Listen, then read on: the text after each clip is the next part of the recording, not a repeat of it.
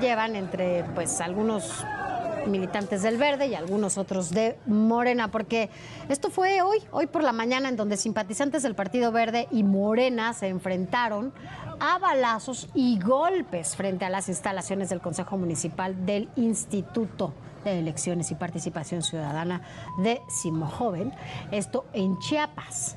Em, dejó esto al menos una persona muerta, cinco heridos. La Fiscalía General del Estado ya abrió una carpeta, una más de las que abre, pero que bueno, pues difícilmente llegan a una conclusión.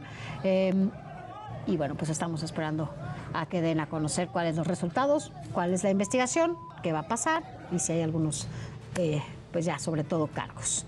Y en más violencia política asesinaron, asesinaron con cuchillos a Gerardo Guadalupe Gallegos, coordinador de campaña del panista Manuel Silvestre, en su domicilio, esto en Ciudad Victoria, Tamaulipas. Al respecto, militantes del partido pidieron a las autoridades que se esclarezca.